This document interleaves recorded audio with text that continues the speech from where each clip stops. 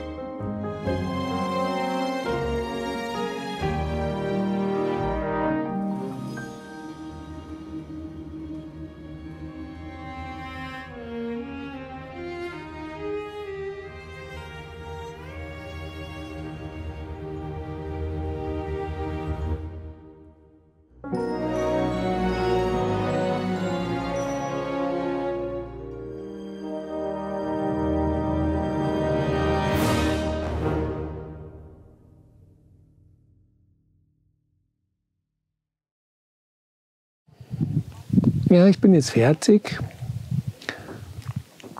Ja, ungefähr anderthalb Stunden habe ich gemalt, habe ich mich auf den Schlitten gesetzt und der Staffelei 30 auf 40 Zentimeter ist das Bild geworden.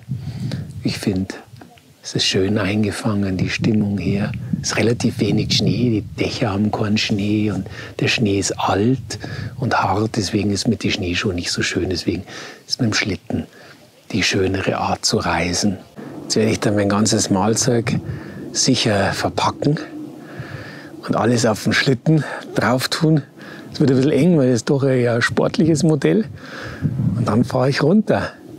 Ich habe mir extra eine GoPro besorgt, damit ich auch mal ein paar schöne Schlittenfahrtaufnahmen machen kann.